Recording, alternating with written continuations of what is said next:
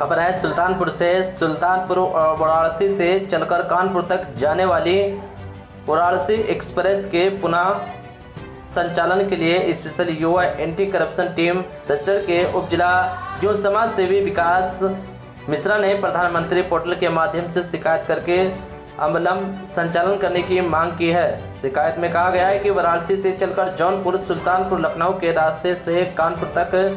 जाने वाली इस ट्रेन को संचालन लंबे